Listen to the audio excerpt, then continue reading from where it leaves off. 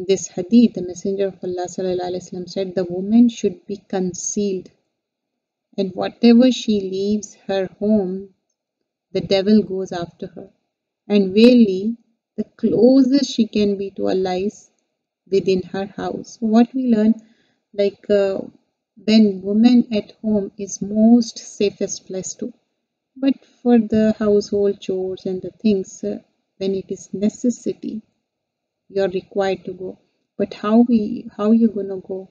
Covering yourself Remember that hadith in the Eid khutbah at the time of Eid, Rasulullah recommended and said, if you don't have shawl or jilbab, borrow it and then go together and attend the Eid prayer and listen to the khutbah.